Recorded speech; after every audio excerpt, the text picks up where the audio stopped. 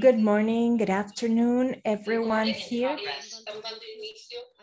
Uh, we're starting hearing number 10 of the 182nd period of sessions, which will deal on the uh, progress and challenges in the implementation of the extraordinary forensic identification mechanism in Mexico. It's a hearing that the commission decided to grant ex officio. I would like to welcome everyone here the uh, civil society organizations, the representatives of the state, the group extraordinary forensic identification mechanism, and also the representative of the Office of the High Commissioner um, in Mexico, Mr. Diego Fernandez. It's a pleasure to have you all here at this hearing. My name is Antonia Urrejola. I am the president of the commission and rapporteur for Memory, Truth and Justice. And I am joined by first vice president, Julissa Mantilla, and by Commissioner Esmeralda Arosemena de Troitiño, a rapporteur for Mexico. We also have the executive secretary of the commission, Tania Reneaum, and I can't see the rest of the team. I apologize if someone else is here, but of course, we have the entire team of the executive secretariat following these issues, our team in Mexico that you know so well. I see Mauricio Rizzo, Piero, and the rest of the team both working on uh, the issues that will be discussed at this hearing and the entire team of the executive secretariat that make it possible for us to meet here and the interpreters. I would like to thank them all. You will see on your screens that there's a little timer. I hope you can see it. I can't, but if you can see it, that's what's important today. I'm on an iPad, uh, so I can't see the timer and what should be there that I, oh, oh Commissioner Stuardo Ralón is here as well. I apologize, Commissioner. I can't see uh, everyone on my iPad. Uh, there's a timer. I, I, hope you can see. I cannot see it. That timer will let you know how long everyone have to use the floor. I ask you to stick to the timer. We will have several presentations here, and it's very important for everyone to respect that. First of all, we will listen to the civil society for 20 minutes. And while they use it, uh, while they, you speak, I ask you please to introduce yourselves. After that, we will listen to the state's representatives. Please introduce yourselves as well. Then we will have a special um, time for the representative of trips of the coordinators of the MEIF for 10 minutes. It's very important to listen to you. And after that, we will listen for seven minutes to the representative of the High Commissioner for Human Rights. After that, the commissioners will ask some questions. And after that, we will give the floor to you for the remaining time. Having said this, first of all, I will give the floor to the civil society organizations. Thank you.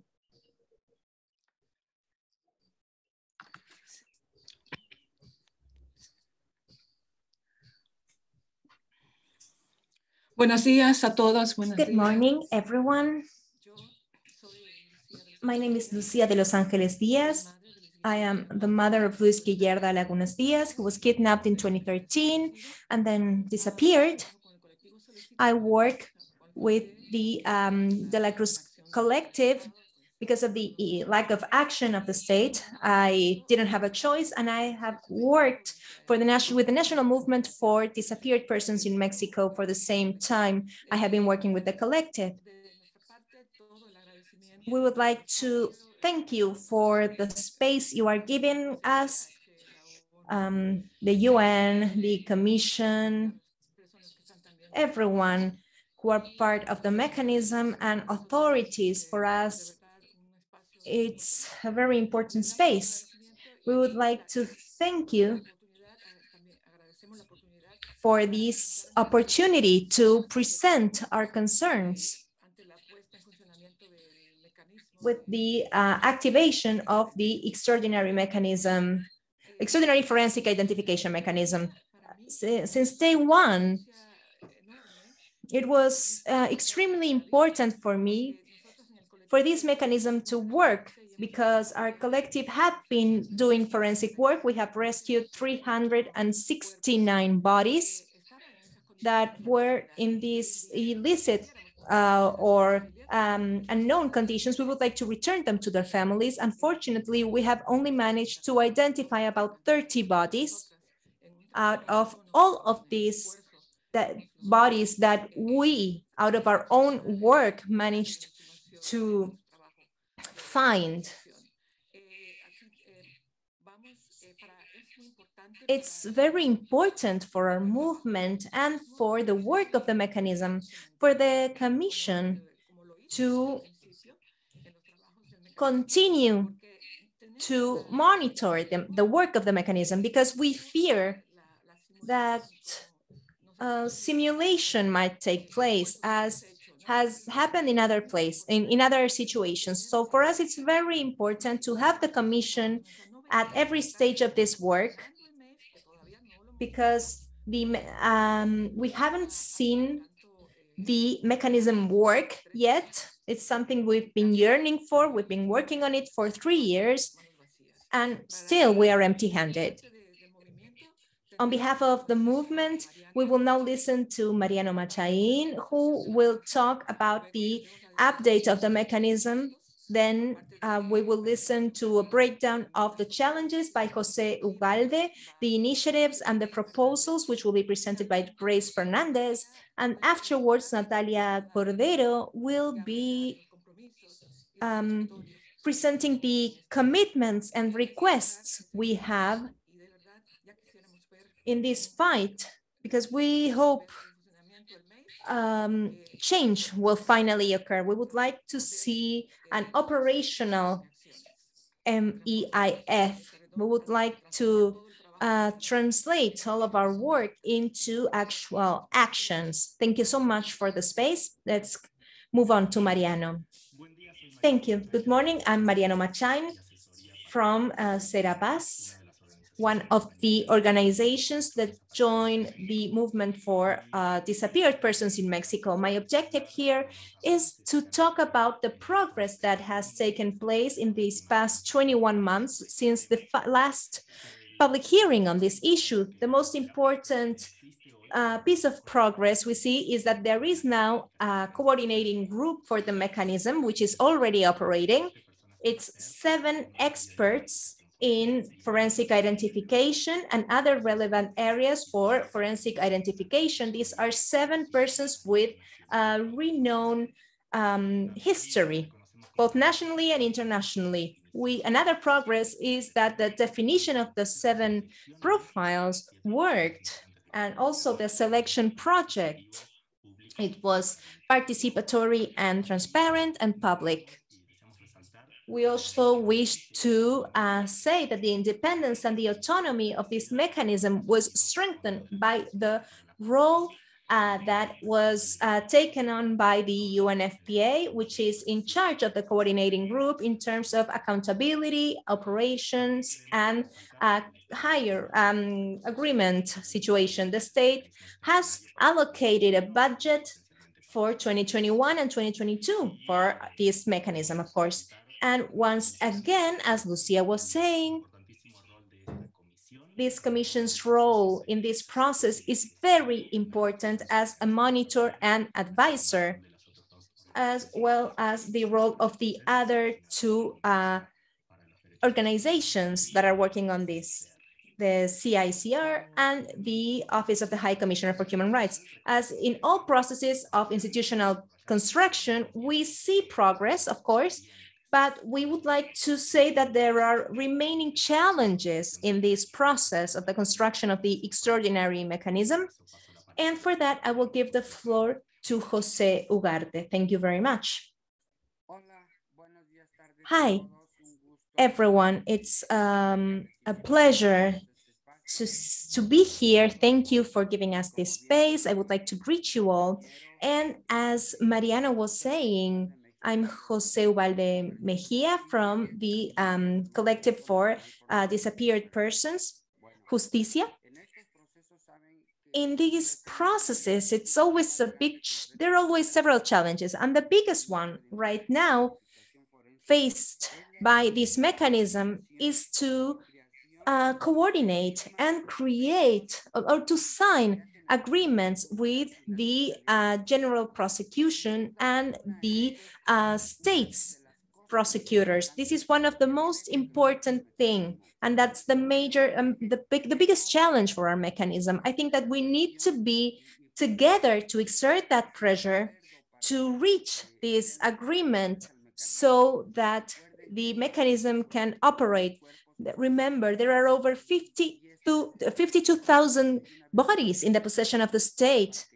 And this way, we could help them get back home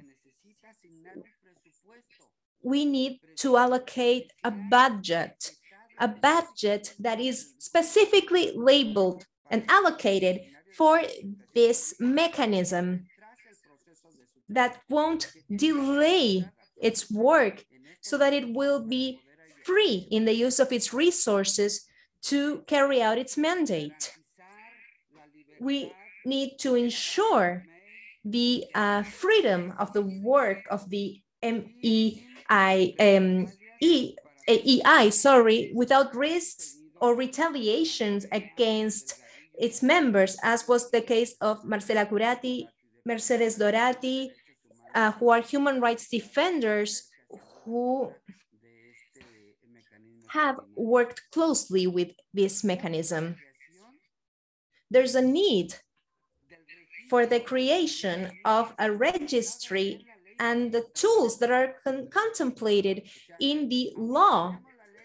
Because we do have the law, but let's remember that many states don't have the minimum resources to give access to the work of this mechanism. This is something we need to work for, and it's a responsibility of the state and of everyone here so that they will have these resources.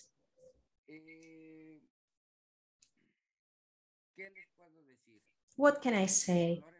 I think, uh, well, we were chosen as speakers, but remember that there are over 90,000 families and over 52,000 bodies in the possession of the state. This is a national emergency and a call to the Mexican government and with the help of the Inter-American Commission, who has been there since the beginning of this uh, mechanism because we need to accelerate this process to get the results that families need so desperately. There are, there's no excuse the state can present for its failure to provide the resources and the, um, to, the, the resources to do this work. This crisis goes beyond any sort of excuse or pretext. We need that information so that families can uh, finally get some relief because we are the ones facing that lack of uh, sensibility, that lack of transparency, because this makes this situation cannot be tolerated anymore. That is why we make this urgent demand for uh, the work of this mechanism so it can carry out its mandate. I think uh, this is all for me. Thank you very much. I will now give the floor to Grace. Thank you. Good morning. I'm Grace Fernandez. I'm looking for my brother, Dan Jeremeel Fernandez. A force disappeared in uh, Coahuila. It's gonna be 14 years since he disappeared very soon. For many of these families, this has been a terrible search and this mechanism in the past three years has been one of the biggest bets for the search. Of course, what we need is to find them alive, but forensic search is also important. That is why this mechanism needs to work because we need an answer about who they are. And we need to have the possibility to return these over 52,000 people. Their families are looking for them. They are waiting for them. That is why we are so concerned because several days ago, we heard about this intention of the federal government to launch next year initiatives to generate the National Institute for Human Identification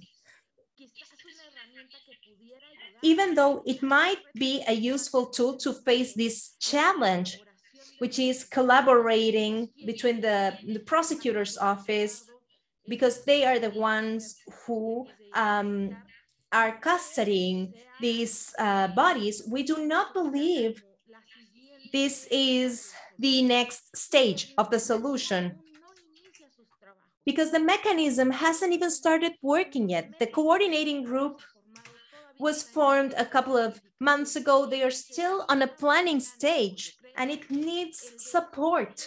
We believe that deviating the attention, the force, the political power towards the creation of this new law and this new institution might make us lose even more time that we need for the mechanism to start working. We are worried that they are moving forward without consulting with the victims, without meeting with the movement to know what's the point of this institute? I'd like to say that three years ago, when we started negotiating with the current government for this mechanism, it was an initiative of the movement, creating a law to create this National Institute. It's what we wanted, of course. Nevertheless, the political conditions weren't there, even with a new administration, with the majority in Congress, and this dynamic of let's rebuild the country. But we couldn't really see a political um, capability to start this process. That's why we decided to bet on the mechanism. And we find it very concerning that we are seeing less and less conditions nowadays and this will dilute our efforts. This has happened to us. We don't want the mechanism to be just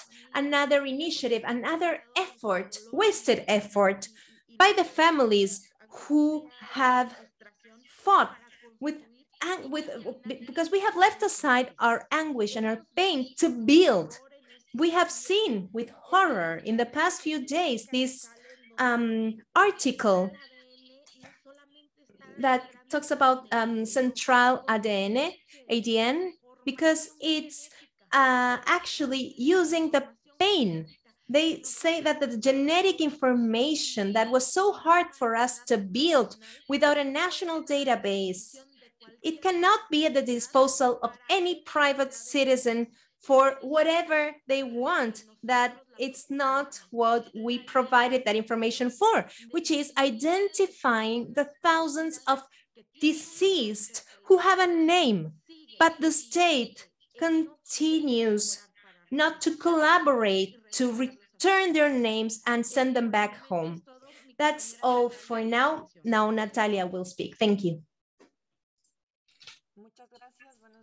Thank you. Good morning, commissioners, delegates of the state of Mexico. My name is Natalia Cordero. I'm a researcher at Fundar. I'm also a member of the technical team that supports the national movement for disappeared persons in Mexico. Um, taking into consideration the absence of the Secretary Ms. Encinas, uh, who had sometimes presided over uh, the Secretariat. And taking into consideration what my colleague said, Grace, we hope that his absence is only a question of a schedule and not a message that our mechanism is no longer a priority. I now would like to explain the petitions and the requests that we make for the delegation of the state of Mexico and before the Inter-American Commission so that the implementation of the mechanism is effective and so that we can achieve the mandate of this mechanism that is the identification of 52,000 people. Or the we therefore request promoting the adoption of a framework agreement of collaboration for the identification of people between the mechanism, the forensic office, the National Conference of the Public Prosecutor Office, and the forensic services that do not depend from uh, on public prosecution offices. We hope that the framework agreements can be implemented towards the end of 2022. Also, we request the state of Mexico to take the necessary measures to guarantee uh, a sufficient budget for the extraordinary mechanism of forensic identification so that we can acquire the infrastructure necessary for the functioning of the mechanism in 2022 and 2023 and following years in order to achieve uh, the outcomes of the mechanisms and to overcome the crisis that exists in Mexico. Also, we would like for the state to review the compliance of the commitments along the period of sessions and um, that they took during the period of sessions we, in, of the IACHR. And also, also with regard to ordinary forensic services and their strengthening, we also that they issue the pending records, especially we consider that is highly important that there is an immediate publication of the national database of forensic data and the record of persons who have died and have been identified, since that is one of the fundamental databases and records in order to um, make the identification activities effective. Also, we request joint participation in the application of the national program of exhumations of the Office of the Public Prosecutor with the participation of the mechanisms together with civil society organizations and the families of the victims. Also, we request the strengthening of the ordinary services or ordinary forensic services by increasing their budget, but also guaranteeing the resources so that it could have a stronger structure so that they can improve their human resources and technological resources. We also would like to make some specific requests or petitions before the Inter-American Commission in order to guarantee the monitoring of the petitions and the commitments made at this hearing. We request the Commission to review the compliance of the commitments made in this period of sessions and in the coming periods of sessions. We also request the Inter-American Commission to apply a specific monitoring mechanism for this case and to provide technical assistance to the state of Mexico for the creation of the framework agreement regarding forensic services. We also request the establishment of a working schedule to promote the implementation of the extraordinary mechanism of forensic identification, including public hearings and monitoring and annual hearings. Without further ado, we would like to thank you for monitoring the situation and for making this issue relevant. We know that is very relevant in humanitarian terms. Thank you very much.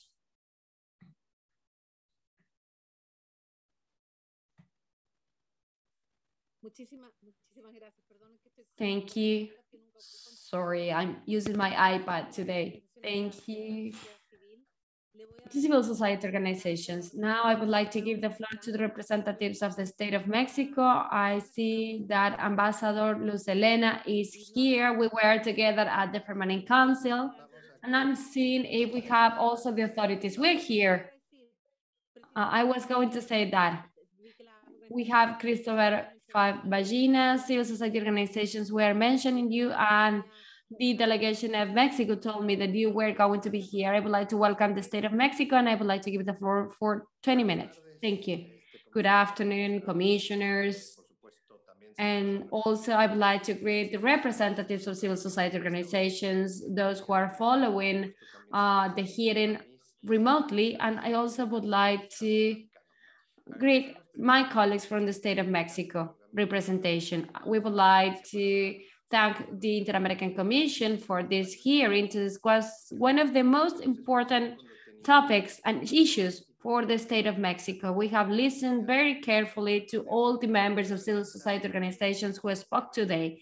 They are uh, representatives of the efforts uh, to overcome this challenge that affects the Mexican society as a whole. We would like to recognize you for all your efforts, for all the energy, so that this is one of the most important priorities of the state of Mexico. As we were saying, we have Luz Elena Baños, the ambassador of Mexico, also Karla Quintana Osuna from the Commission for the Search of Disappeared Persons. We also have staff members of the Human Rights Secretariat of the Government of Mexico. We have also Ms. Soto, that is the Technical secretary of the Ministry that is also Alvaro Martinez, that is specialized prosecutor on behalf of the prosecution office of Potosi. And also we have the representative of the conference of justice operators.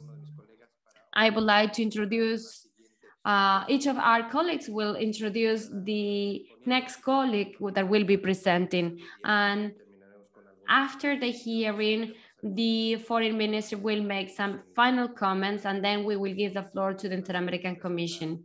I would like to introduce now Dr. Karla Quintana Osuna, that is director of the National Commission of, for Search of Disappeared Persons.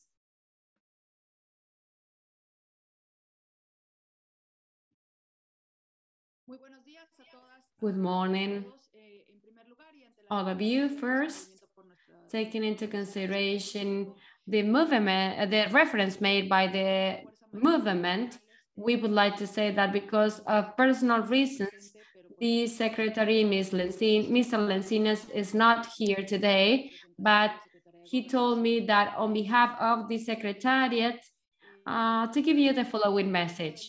It's important to recall that the Mexican government has recognized the crisis in terms of disappearance and the forensic crisis since May 2019 during the period of sessions of the Inter-American Commission in 2019. Uh, we had a meeting at the time with the family members of the victims. We started to discuss the possibility of creating the mechanism. And then we have a meeting on July the 3rd, the 30th, 2019. And then in May, uh, and sorry, in December 2019, we had another meeting with the Inter-American Commission in order to present the agreement for the creation of the extraordinary mechanism for forensic identification, who was approved or adopted by the National Commission on the search for disappeared persons. We would like to say that since then, since then, we have worked jointly to build this extraordinary mechanism and forensic identification. And this mechanism uh, has been built together with the participation of family uh, members of the victims, with together with civil society organizations and with the support of federal agencies, including the Foreign Relations Secretariat, the Justice Secretariat, the Office of the Public Prosecutor, the Secretary of Government, uh, including their legal offices and also the National Commission for the Search of Disappeared Persons. Since the signing of the agreement, we had over 50 plenary meetings with all these institutions, agencies, and persons, and we have also dozens of working tables or working meetings with all of them. After the creation of the agreement on December the 5th, 2019, a follow-up committee was created and it's important to recall that each part of the process has been built collectively. Each term, each word has been discussed and approved by all the parties. The monitoring committee has 14 members, including authorities, civil society members, and also family members of the victims who are disappeared. And as it was said, uh, we took into consideration the profile of the persons that were going to be the members of the committee. We chose the seven persons on behalf of uh, the victims, and we had also a specialist for the different aspects or areas, forensic experts, legal experts, etc. And we also, there was a concern that was discussed at the time that was how to guarantee the autonomy and independence of this coordinating group. We discussed whether there should be public officials or officials or people who did not did not belong to the Mexican government. The state of Mexico signed an agreement with the United Nations and with the OHCHR so that the government of Mexico provided the resources for the creation of uh, the High Commissioner's so office so that this office hired the seven members of the coordinating group. There was also after that, after the approval of all these decisions jointly, we conducted with the creation of the selection group. I will not talk about the details uh, that will be presented by the Office of the Public Prosecutor, Prosecution of the Republic, but there was also an agreement to decide on who should be a member of that group. We have a competition process for choosing the members of the coordinating group. Resumes from Peru, Argentina, Colombia, Ecuador, the United States, Canada, Spain, and Portugal, uh, with 240 candidates who applied for being members of this committee.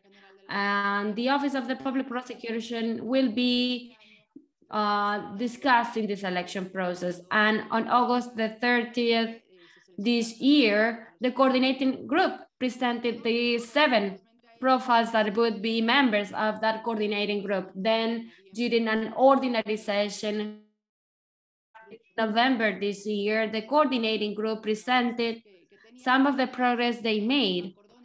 And also the coordinating group uh, was chosen to be a permanent member of the national system for the search of disappeared persons. And after that, we had several meetings with the coordinating group in that regard.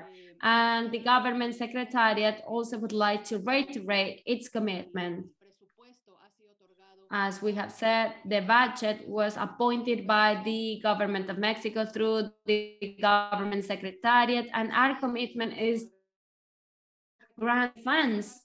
And we also would like to recall that together with the strengthening of the mechanism, the government secretariat is making decisions and taking measures to improve forensic capacities across the country by providing over $60 million to local offices.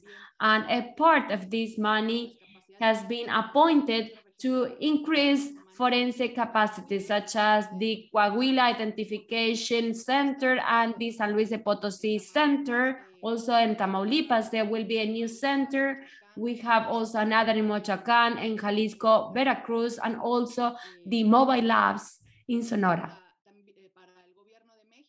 for the Mexican government and the government secretariat, it's very important that together with the strengthening of the mechanism, national capacities are created to fight this forensic crisis that we are facing. Now I would like to give the floor to the Special Prosecution of Human Rights of the Office of the Public Prosecutor of the Republic. Thank you.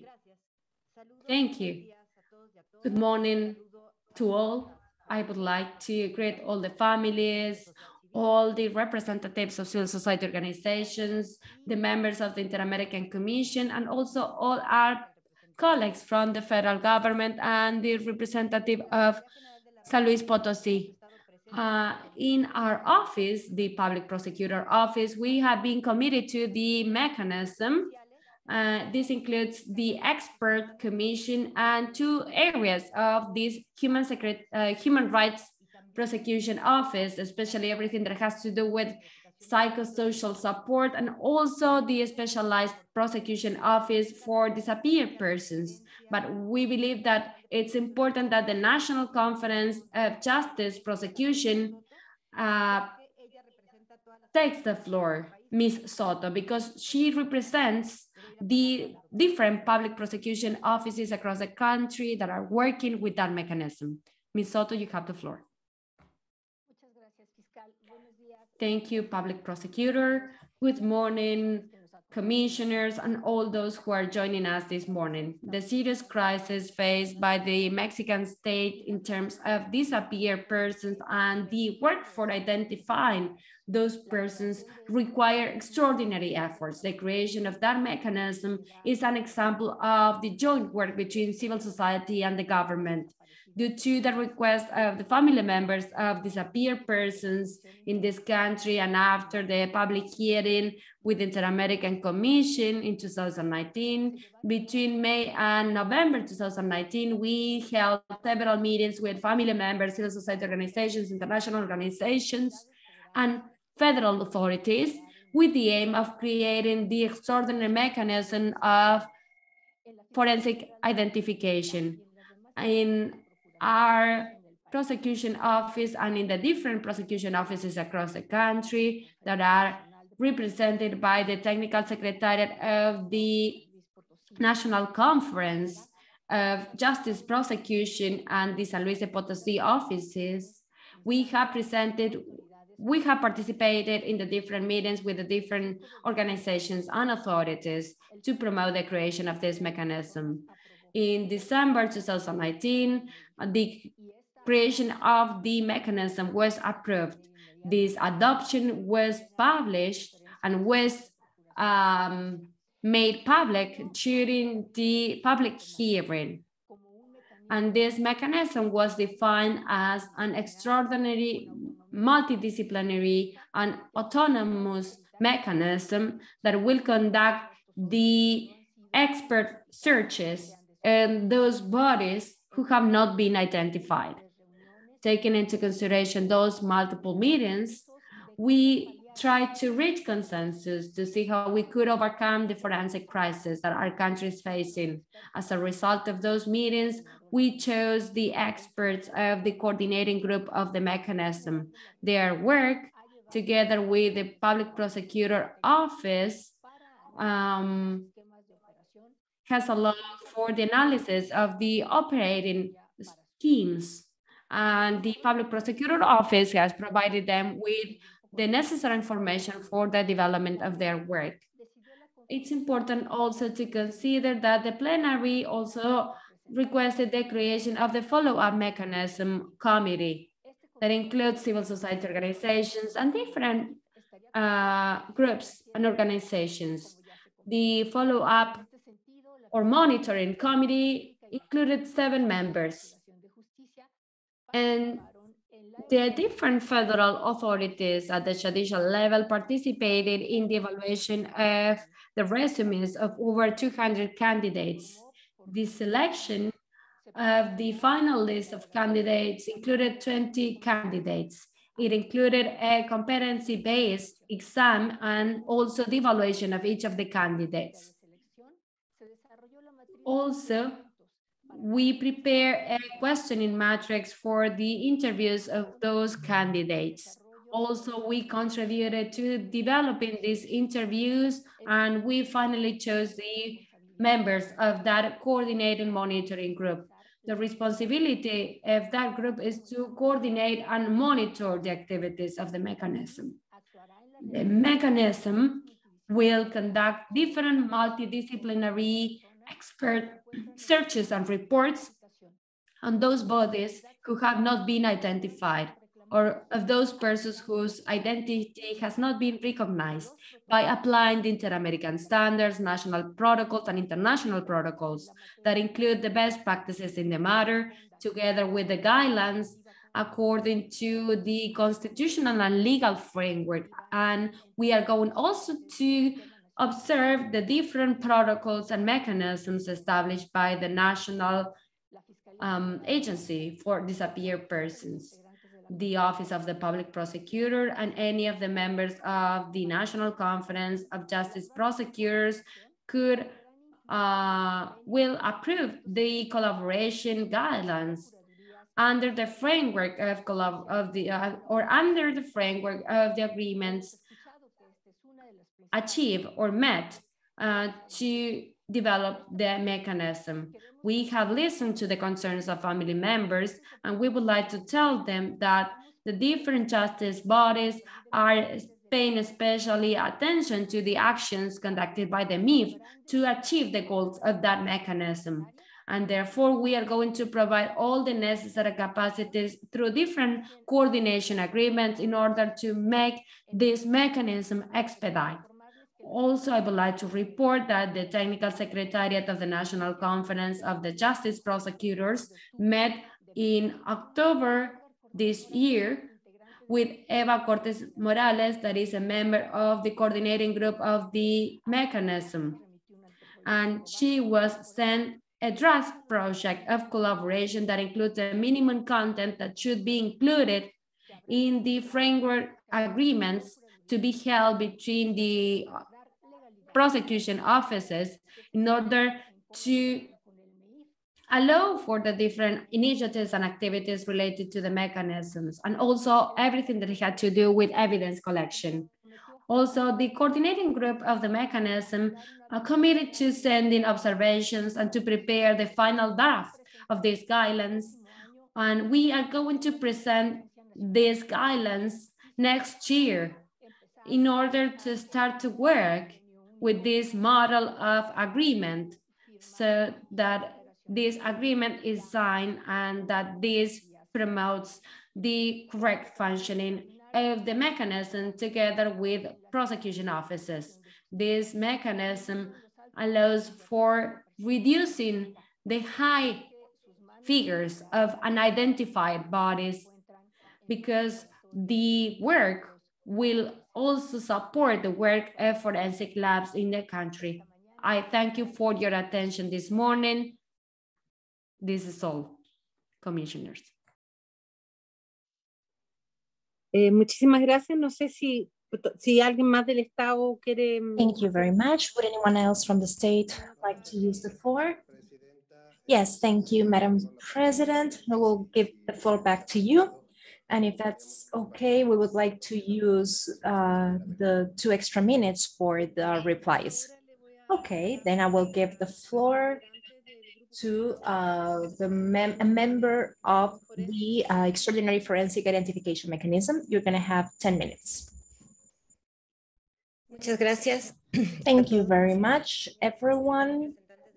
Representatives of the uh, groups of the civil society, um, members of the Inter-American Commission, representatives in Mexico of the UN and the UNFPA, representatives of the state, we would like to thank you for your invitation. And we believe it is fundamental to have the um, technical assistance and the follow-up work of the commission and we would like to join the request of the civil society to um, continue to receive your assistance.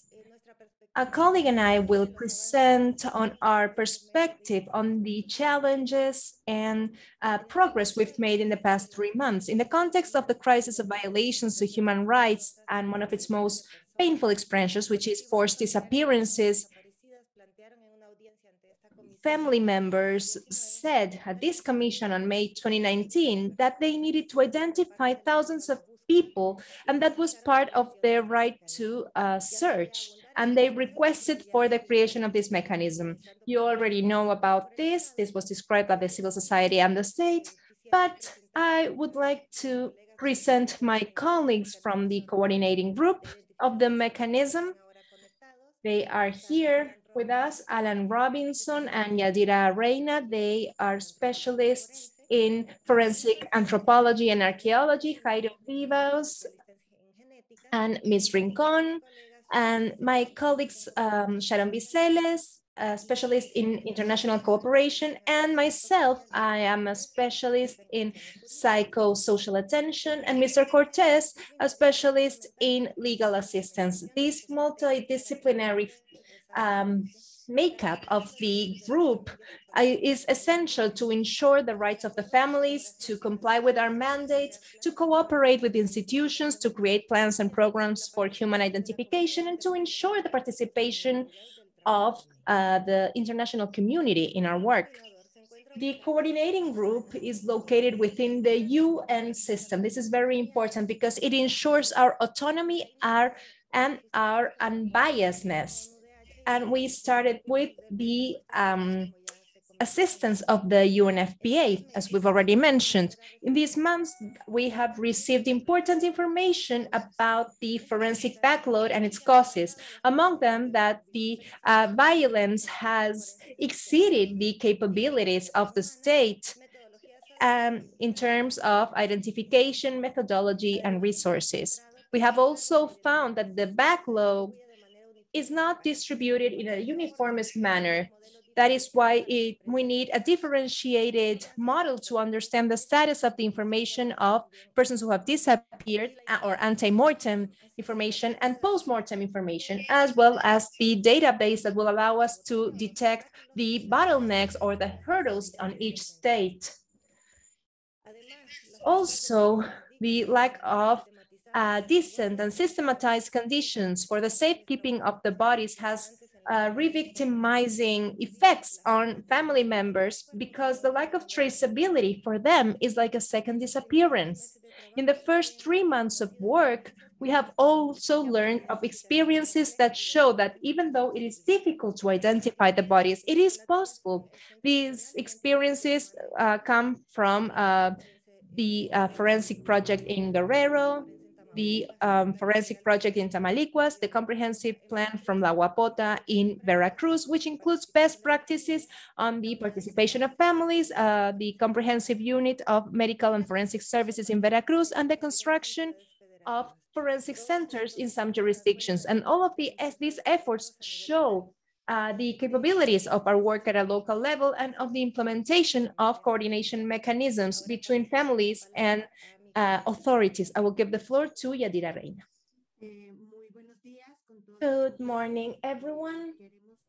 We would like to say that our the co coordinating group will be presenting in January our working plan for 2022. But we would like to share that we will be focusing on three actions, setting up the first uh, forensic and data analysis group to determine the status of disappeared persons. Uh, with this analysis, we want to set up working teams for uh, our work with the collaboration with uh, public prosecutor's office offices we will work with uh, forensic and non-forensic pre-requirements. Uh, the second item of this plan would be advancing on the agreements for our collaboration with the public prosecutor and with uh, local offices to uh, collaborate with them and sign agreements with them. And thirdly, to design and implement mechanisms to ensure the right to free active, substantive, and permanent participation of families, collectives, and uh, organizations in the creation of the working plans of our mechanism. With that in mind, we carried out participation processes, as well as the psychosocial attention mechanism and the creation of uh, a special protocol. The coordinating group has identified these challenges. So we uh, request the collaboration of all authorities involved, as well as of the active participation of families, collectives, and civil society organizations. First, we consider that it is fundamental to achieve a common understanding of the dimension of the forensic crisis and of the uh, long effort it will entail, as well as how to work on the methodologies to address the backload and how to restitute the bodies to the families. Identifying thousands of disappeared persons who requires um, long commitment that will only be achieved through including transnational commitments as well as uh, budget resources to sustain this. The agreement for the creation of our mechanism, as we mentioned, is to perform um, interdisciplinary analysis in the case of human remains that have not been identified that were recovered and are in the custody of the authorities. That is why we wish to insist on the importance of underlining that it is very important to comply with this. And for this, it is very important to uh, work with the authorities, and we hope this will go on and become stronger as soon as possible in this uh, general basis for collaboration that we are uh, working on in order to solve the um, problem of identification and to bring relief to those who seek their missing relatives the mechanism should also be a part of the projects and initiatives generated by the Mexican state in terms of human identification to care for forensic backlog. The coordinating group knows that there is uh, a large volume of data related to unidentified disappeared persons. Many of them are disarticulated, and we believe it is very important for the mechanism to have access to all the databases and lists in whatever format, because only in that way will the, will the mechanism be able to um, do its work. One of the main challenges to address the forensic crisis is to train specialized um, personnel in human identification through the development and expansion of university programs and of um, improving working conditions, addressing the risks and the needs of this work. The participation of families, collectives, and family and organizations is fundamental to sustain the efforts for the identification of thousands of unidentified missing persons. This is necessary to get to the information that will allow us to identify the remains, but it is also a right that must be acknowledged by all the stakeholders in the identification. Also, because of the technical complexity implied in the identification processes and the psychosocial impact on victims, it is necessary to train through um, psychosocial attention and notifying and delivering the bodies back to their families. We appreciate at the mechanism uh, the work of the families and collectives who trust this mechanism. And once again, we repeat our commitment to assist in the search and identification of persons who have disappeared who were deprived of their life so that they will return in a decent manner to their families and while addressing the um, right to truth and justice. Thank you very much. Thank you very much for your participation. We will go on with the hearing. I would like to ask the representatives of the UN, Mr. Maldonado, you can speak for seven minutes. Thank you very much. Good morning. I would like to greet the authorities, the Inter-American Commission, the state, representatives from the civil society, families. It is an honor to take part of this public hearing of the commission called Progress and uh, Challenges in the implementation of the MEIF. As the Mexican representative of the uh, High Commissioner for Human Rights, I will present information in an informal manner without being under oath on the uh, implementation of the mechanism. None of my comments should be considered a renouncement to the privileges um, granted by the 1996 convention. And I would like to say that my intervention is a product of a previous and sustained dialogue with the um, UNF PA. And I would like to thank the Inter-American Commission for their uh, the invitation and the holding, ex-official holding of this hearing, which is which shows its commitment to the mechanism with the effective participation of the state and the families. The process in which that defined the progress of the mechanism um, considered the creation of a group and choosing its members was part of a joint effort by the state, international organizations and families, of course. Uh, the Red Cross was part of it, the new UNFPA, our office, the commission, and the process for the creation of the mechanism was a landmark at the hearing of the uh, Inter-American Commission. And that is why the Commission is interested in it. And not only the Commission, but also all the uh, concerning institutes, because we all they all wish to work uh, in the same synergy.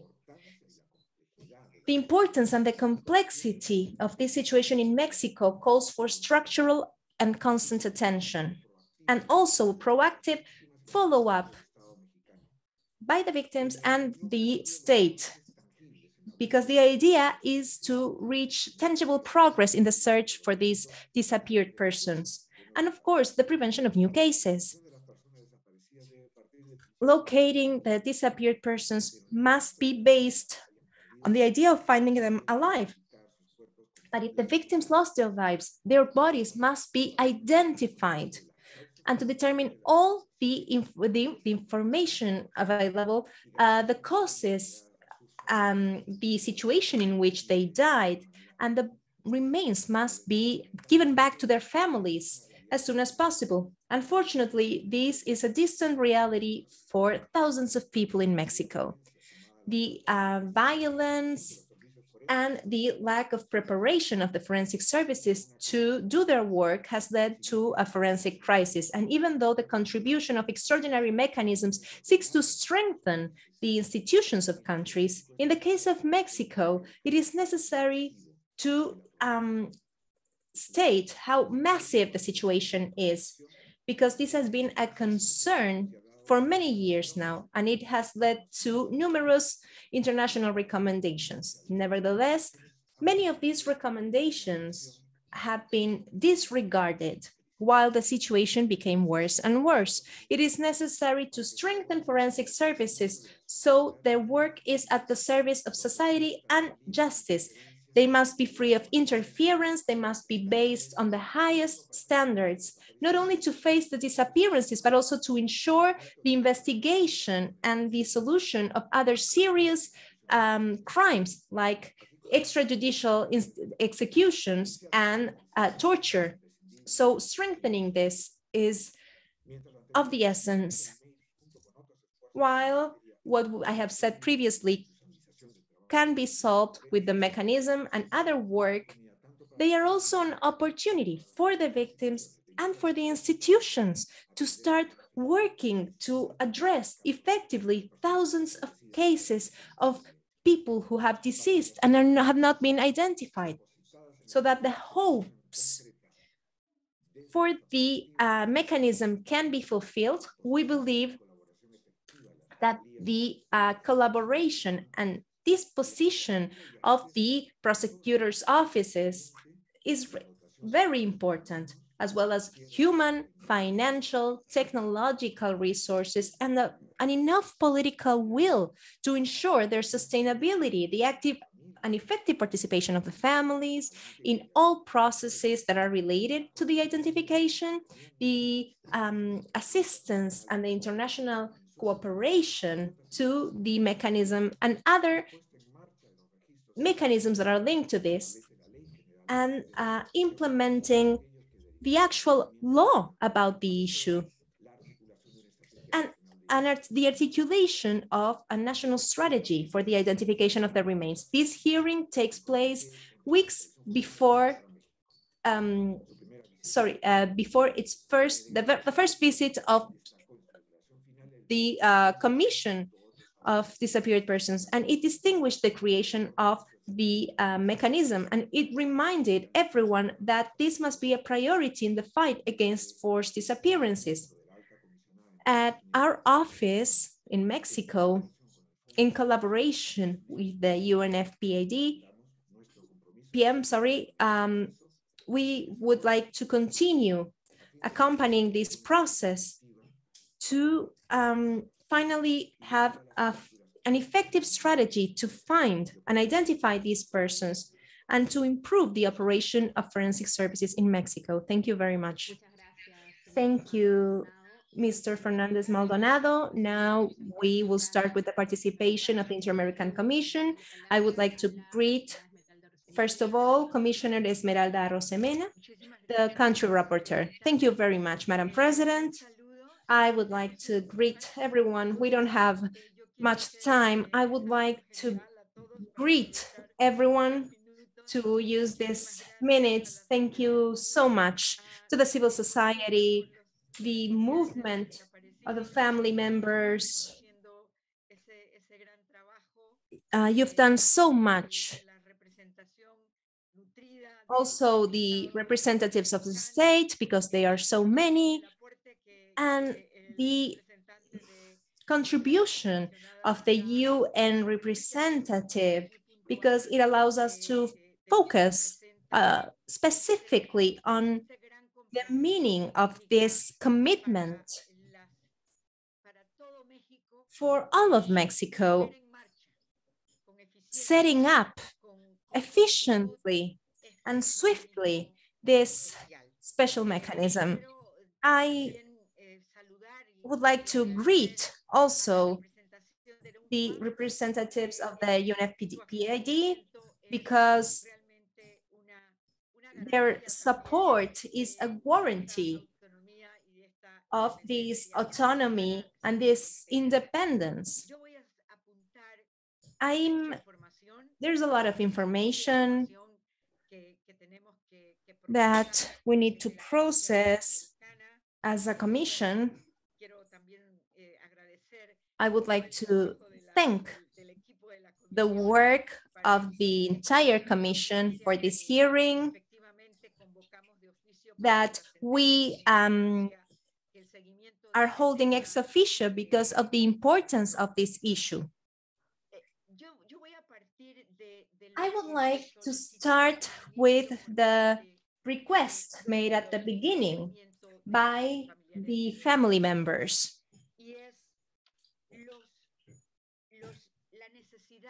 The need to know, to understand this relationship, this connection between the public prosecutor's offices and the forensic services with the work that needs to start the mechanism right now, that it needs to develop its working plan, which of course is necessary, but it is vital to be clear on this connection between the public prosecutor's offices and the forensic services.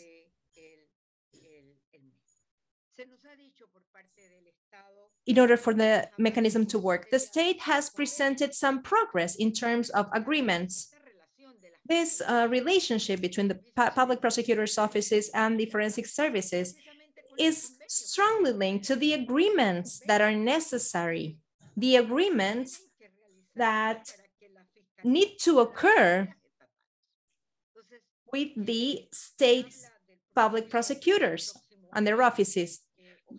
We are hearing that this might happen next year. We hope we can have that detailed information so we can follow up on it because we believe that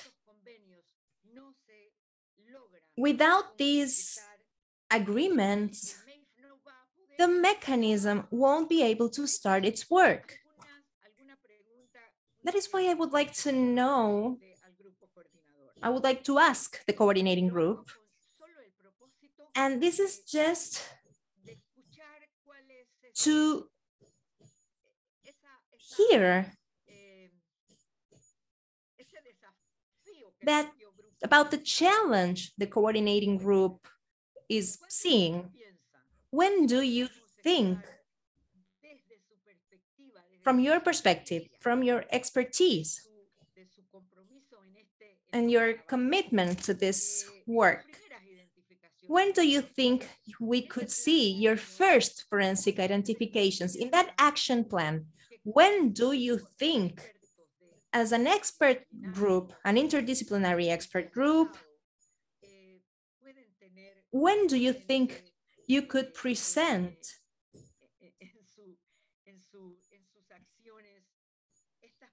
the first identifications? I agree with what was said by the uh, High Commissioner's representative, and I have something to say.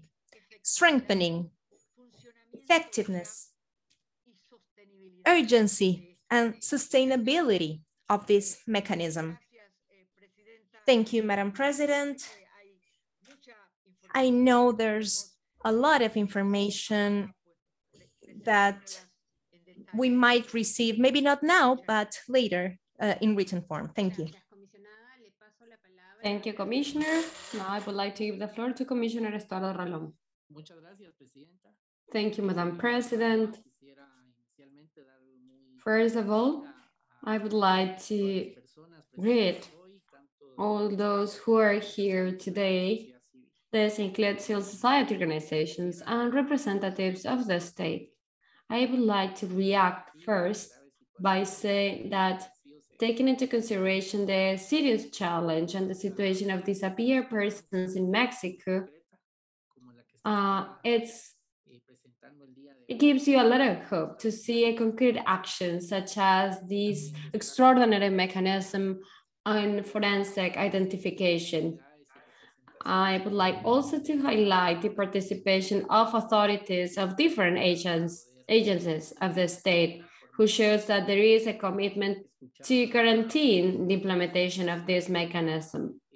Among the representatives of the state, uh, we learned about that the plan or the working plan is being initiated. And we know that the support of the prosecution offices to the forensic team and the technical team is going to be very important. I know that this is a challenge, especially the first stages of a mechanism that it's so important.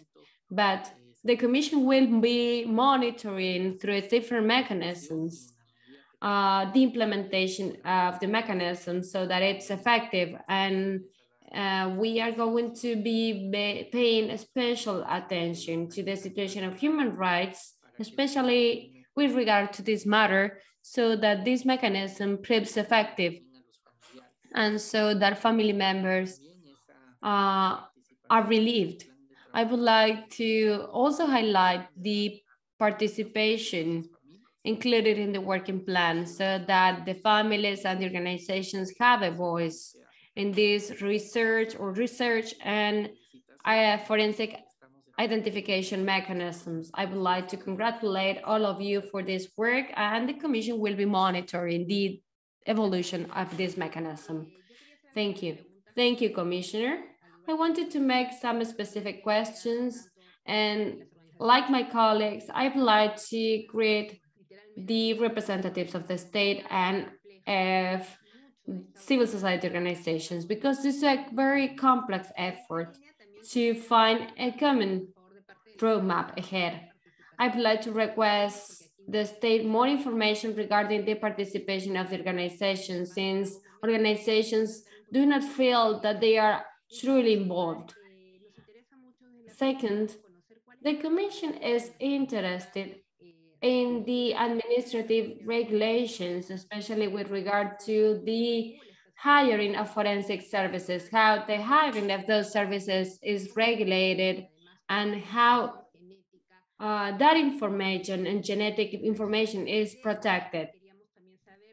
Also, we would like to know the, the there is any changes in the budget assigned to forensic services, if it was increased or not. And also, we would like to see how we can improve the dialogue between third parties, organizations, and state authorities. Again, I would like to greet civil society organizations, and we would like for you to tell us other additional challenges that you can identify, including, for example, the role of women, because the searches are usually initiated by family members, usually by the mothers of the victims. That would be all on my side. Now I would like to give five minutes to each of the parties to continue.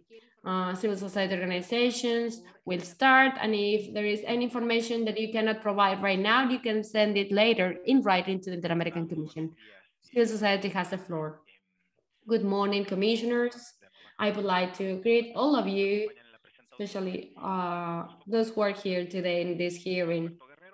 My name is Humberto Guerrero. I'm Human Rights Coordinator of one of the organizations. And with regard to the questions and the challenges that we are identifying as civil society are the following. One of the most important ones has to do with participation and the barriers that different groups face.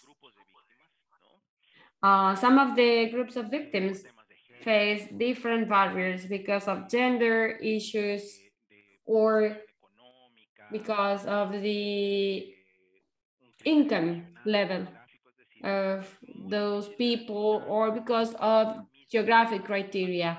It's difficult to guarantee the same level of participation for all the group of victims. So in general terms, that's a challenge that we have. And state should guarantee in homogeneous participation of the group of victims. That is my answer to your question. And in the following five minutes, we would like to promote some commitments so that we can make progress after this hearing. First, uh, we would like to say that there is a progress, there is some progress made regarding the collaboration aspects and the guidelines for collaboration to work together with prosecution offices. And um, you were talking about next year, but do we have a specific date? It would be good to have a draft of that collaboration uh, initiatives. And we would like to know when those collaboration guidelines could be shared with family members and with civil society organizations. We do believe in the dialogue that you have with the members of the coordinating group of the mechanism, but of course, family members and organizations are interested in uh, the effectiveness and the autonomous work of the mechanism so that the mechanism has all the tools that, is that are necessary for the correct functioning of the mechanism. And it would be good to be able to move forward with that pending task during the first semester next year. Second request. Uh, would it be possible to have a commitment regarding budget? We do recognize that the National Commission of Search of Disappeared Persons had made all the efforts possible so that, that the, me the mechanism had budget. But we would like to have more information, especially for the Inter-American Commission, so that they know how the budget in Mexico is allocated. Uh, we believe that it's important that we have label or specifically allocated budget. The mechanism has a budget and the National Commission for the Search of Disappeared Persons has given its word, but now that budget is out of a bag of resources, but there is not specifically appointed resources for the mechanism. For a task that will be long-term, the best thing is to have a specific budget for the mechanism. And we would like to know if it's possible next year at the beginning to have a meeting with the Ministry of Economy and Public Credit so uh, they can let us know what is necessary to have that specific budget allocation for the mechanism. And finally, in general terms, we are concerned because we see that there are several actions aimed at human identification. For example, and they are run parallel to the mechanism for the, for example, the creation of a genetic database, the creation of a national program, but we are concerned because they are not articulated, then they do not communicate with each other. So we need the state of Mexico to take measures so that all these actions do not create a duplication or a wasting of resources. We all want to make the most effective use of resources that is possible. So we would like to know from the state what you are doing to articulate all these actions, initiatives, programs that are running parallel. And in order to be able to um, um, have a good conversation. We hope that Ms. Mr. Encinas is okay. And it would be good to have a meeting with the Undersecretary Encinas to identify how we can articulate all these actions that are being conducted uh, in this matter. Thank you. Now I would like to give the floor to the state for five minutes. Thank you, commissioners. Also, I would like to thank all the agencies. I would like to give the floor to Dr. Karla Quintana so that she could reply the answers related to budget and some of the questions made by civil society organizations, especially everything that has to do with the public prosecution office and what they are doing and that's why we would like to give the floor to Ms. Karla Quintana. I will be as brief as possible. I would like to start uh, from the ending. Regarding a meeting with Undersecretary Mr. Lencina, count on that. We can arrange a meeting for the coming days. Also, we will try to see if there is a possibility of having a meeting with the Ministry of Economy to identify if there could be a specific budget for the mechanism. I would like to repeat that although the budget is not specified or is not level, uh, as we did in the past, uh, we hope that the budget could be sent to the office, the UFA and the OACHR, as we did in previous years. And Regarding the question uh, made by Commissioner Mantilla, uh, we would like to say that the forensic budget is wide, is broad. The state of Mexico is a federate state or a federal state, and most of the forensic services belong to the prosecution offices of the states and of the republic. There are other forensic services that belong to other institutions as well, but we would like to say that there are funding from different sources for forensic services. At a federal level, for example, I think that the Office of the, uh, the Public Prosecutor could uh, provide more information for that. We have a public security aid fund in order to provide uh, more resources for forensic services if it's necessary. Then we have the support of the government secretariat uh, to promote forensic services because we need to strengthen the state capacities at different places across the country. And as it has been said by the coordinating group, one of the most important actions is the Regional Center of Human Identification.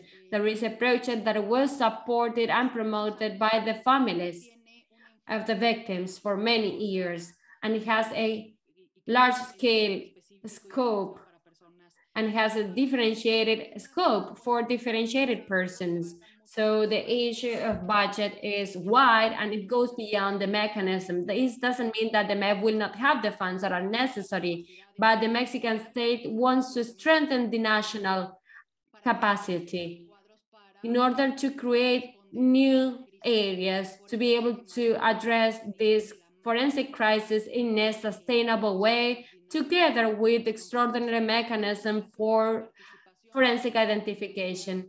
With regard to the involvement of the families, uh, according to what was said by the movement, we have two different situations. On the one side, we have the involvement uh, regarding the creation of the mechanism. This included over 50 plenary meetings and over a dozen of working groups.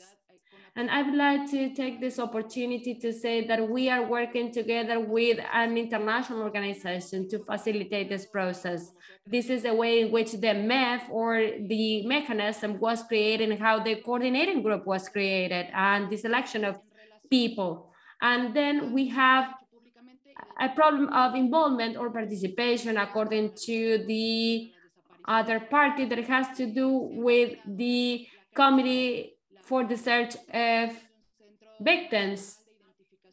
We have created a national center for human identification and the movement has said that there has been a proposal some years ago. Uh, if I'm not wrong, it was created by some groups and civil society organizations. And also this was recommended by the Inter-American Commission on Human Rights in the country reports. It's been requested by the Committee Against Forced Disappearances since 2015. It has been requested by special rapporteurs on several occasions. They all have highlighted that the forensic crisis should include different initiatives, not only from a single area we have discussed this and we are working to formulate or to prepare a proposal that takes into consideration all these aspects and elements that I have just mentioned.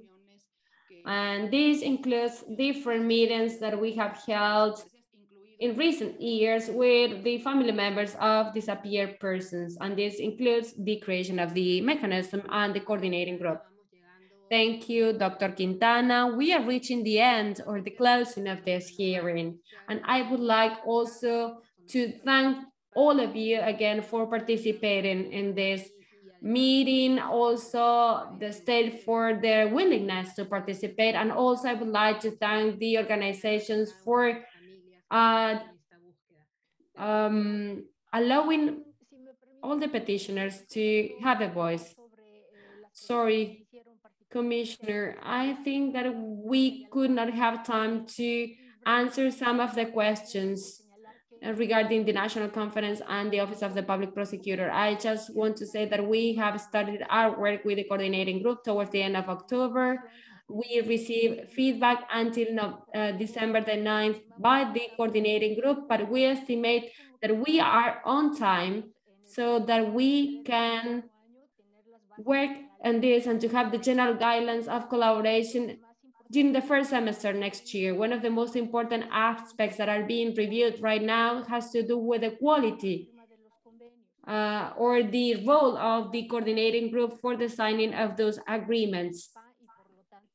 Um, since the funds are managed by the UN structure, so we need to take into consideration if those agreements need the support or the approval of the foreign ministry. These are all technical aspects that won't prevent these agreements from being signed. So we hope that we can really move forward with this next year. One of the concerns of the prosecution offices is the budget. The resources mentioned by Karla Quintana are ordinary resources that help strengthening the ordinary capacities of the prosecution offices and that the intervention of the mechanism is a very specific intervention because it's long-term uh, body remainings or therefore they need a specific technical capacities, but we are working together with the different services and forensic services. Thank you for your answers, but we are running out of time. Maybe Next time you can coordinate your meeting better or your intervention better, but I cannot give you more time because the civil society had five minutes. We are reaching the end of this hearing. The commission will continue supporting uh, your work. We thank you for also coordinating your work within universal system. And I would like to say that the work conducted by the Mexican rapporteur is supported by the work of the President of the Commission and Rapporteur for Truth, Memory and Justice, Antonia Urrejola, that is ending her term at the Commission. But without any doubts, she will continue to work and to commit. You know her, so I would like to give the floor to her, and it's an honor to be able to close the hearing with her. Commissioner and President, you have the floor. Thank you, Madam Vice President. First, I would like to apologize for not being able to be at the hearing because we have a presentation before the Permanent Council because of International Human Rights Day and because there was also a farewell uh, from ambassadors and uh, to me. And sorry for not being here. I would have loved to listen to all of you with more attention, but uh, I would love to be here. But I just want to say goodbye. I would like to thank the support provided by Mexico at the Permanent Council over the last four years. I worked a lot with the state of Mexico, but also as rapporteur for memory, truth, and justice.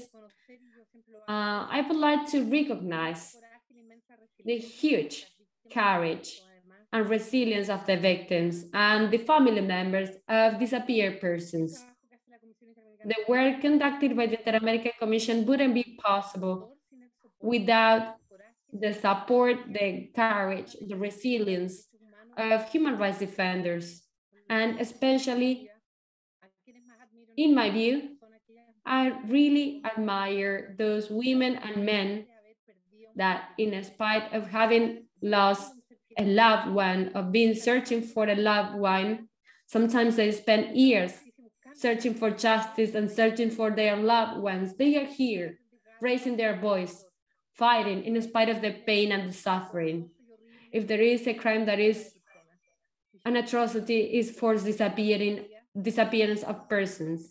And you have the courage, and that's the driving force for all of those who work in the area of human rights. I wanted to thank all of you because you are an inspiration for all of those who work in the area of human rights. And I would like to take this opportunity to say goodbye because this hearing is a very symbolic hearing that things can be achieved. I would like to thank all of you and to send you a huge hug. Thank you for your courage. It must be too sad, too painful to search for a loved one and you deserve justice. Not being able to say goodbye with dignity to them is too painful. That must be terrible. And you have to get up every day and to continue fighting. And I would like to express my admiration. Thank you and have a nice day. Thank you for your words, Commissioner. Thank you, Commissioner. They really touch our hearts. Thank you. A big hug to everybody.